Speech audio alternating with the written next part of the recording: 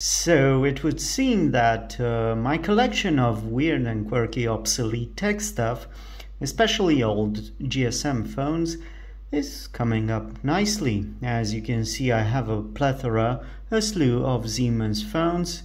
These are all vintage uh, feature phones and I just got another one to add to my collection.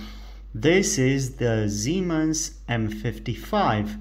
Now, what drew me to this phone actually is the design itself. It's one of the very first phones to feature uh, polyphonic sounds and uh, color screen, albeit just a 40, uh, 4096 color screen LCD. Uh, but really it's the aesthetic condition of it and the design that drew me particularly to this uh, this example. Now the M55 from my point of view is nothing really special. It's sort of a successor to the ME45 and the MT50 which is which are the these two models here. So this is the ME45 and this is the MT50. It's sort of a middle of the road uh, premium budget phone, if you will, or something like the Nokia 5210, 5110 before it. Uh, I guess a good analogy, a good example would be uh, Samsung A52 or A53 from the Android era. Anyway, I digress.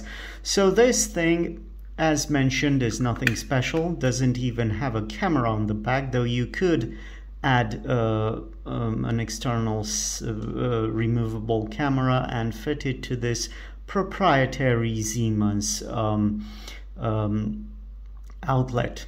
So yeah, this is the phone. It's nothing special, though it came with a battery, a functioning one at that, and uh, even though Siemens phones are known to have uh, issues with uh, batteries and well the longevity and um, the you know they don't hold out uh, power all that well but this one seems to be working just fine.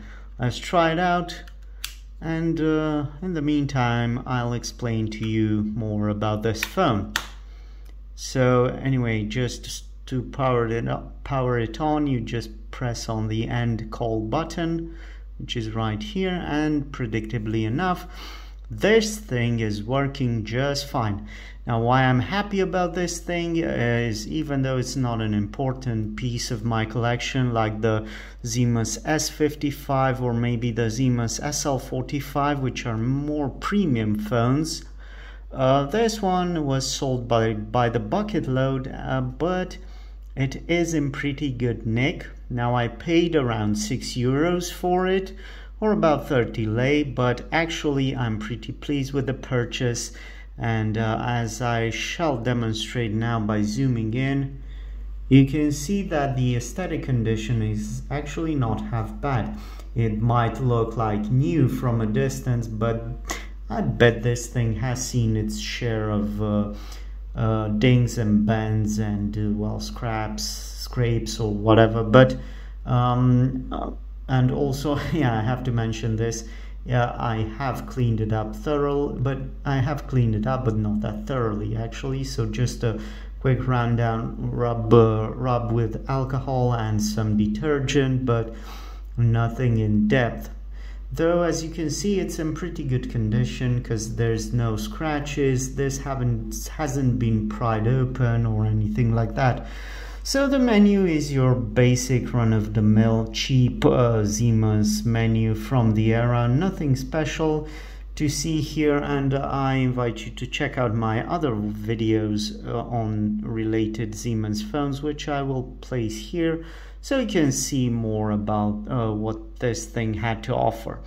Just a quick rundown and uh, show on the inside because I'm pretty, I'm more than pleased with the with the aesthetic condition of this phone. As you can see, I believe even the screws are not molested, which is pretty interesting since Siemens phones from this era tended to have uh, classed unibody designs, so the, the, the two halves of the body would merge together with the click-in function, not with screws, but this model seems to have screws. Or maybe all Siemens phones after the 45 series are uh, subsequent to the 45 series have a screw-in uh, uh, assembly.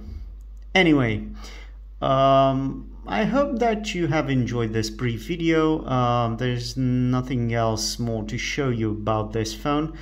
Uh, this thing will definitely go in the uh, in the collection and not into the pit of doom and I shall place it right now inside the box where it belongs. So this has been hopefully an informative and entertaining uh, brief uh, visit to the Siemens M55. Now remember, I buy, own and collect, more likely hoard, weird, quirky and obsolete tech stuff like this collection of uh, Siemens uh, feature phones so you don't have to. Thanks for watching and see you in the next one.